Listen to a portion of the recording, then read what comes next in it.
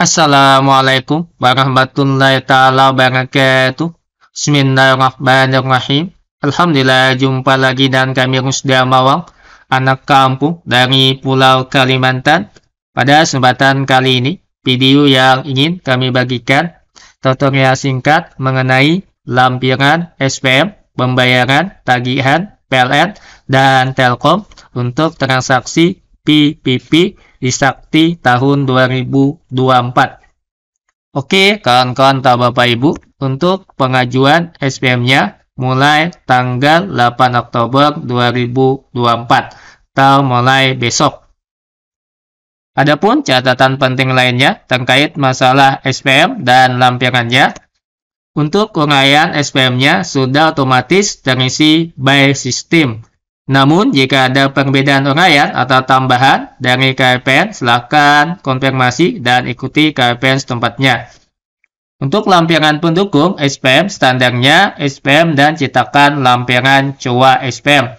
Untuk lampiran lainnya, tergantung KPN setempat. Silakan konfirmasi dengan KPN setempatnya. Di sini, untuk KPN Barabai, KPN kami ditambahkan dengan bukti tagihan pembayaran cetakan dari Sakti.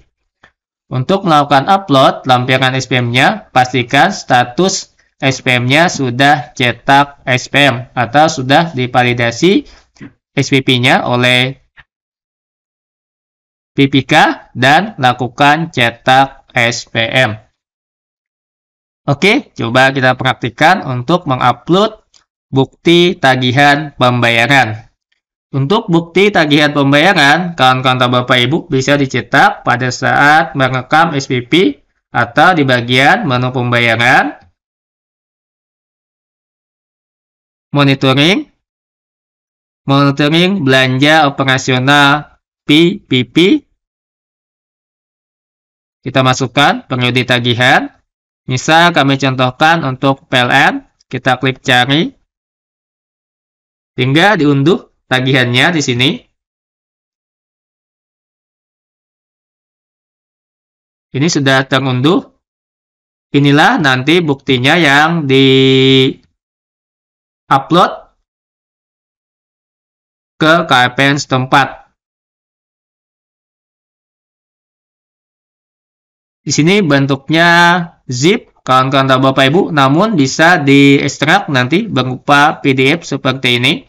Coba kita lihat untuk filenya, jika kami ekstrak akan terlihat seperti ini, bentuk PDF. Di sini terdiri dari dua file lampiran 1 dan lampiran 2 kami gabungkan menjadi satu PDF supaya satu kali upload atau bisa juga nanti diupload dalam bentuk zip seperti ini. Tergantung kawan-kawan atau Bapak Ibu yang mana yang mudah. Oke kawan-kawan atau Bapak Ibu kita lanjut untuk mengupload bukti pendukungnya. Caranya seperti biasa menu pembayaran catat atau upload. Upload dokumen pendukung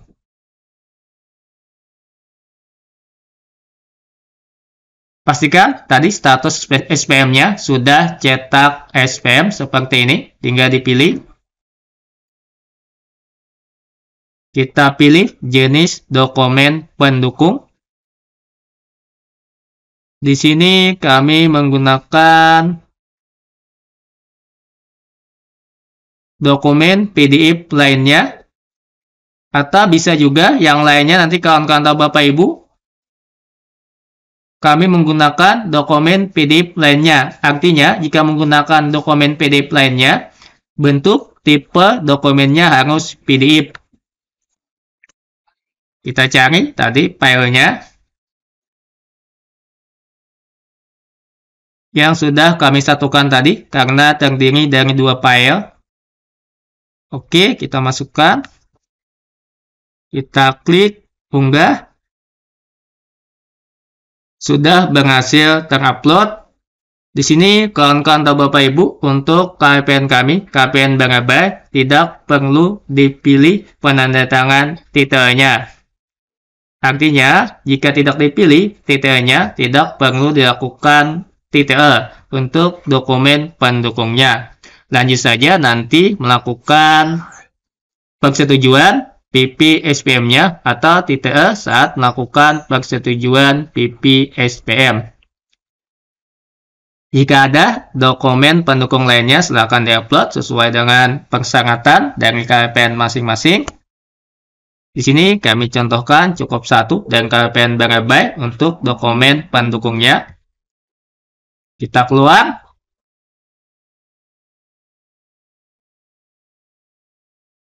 Langkah berikutnya seperti biasa nanti melakukan persetujuan pada user PPSPM atau validasi PPSPM. Untuk persetujuan tidak kami contohkan. Jadi sampai di sini saja tutorial bisa kami sampaikan terkait masalah lampiran dokumen pendukung SPM untuk pembayaran tagihan PLN dan Telkom transaksi PPP di Sakti tahun 2024.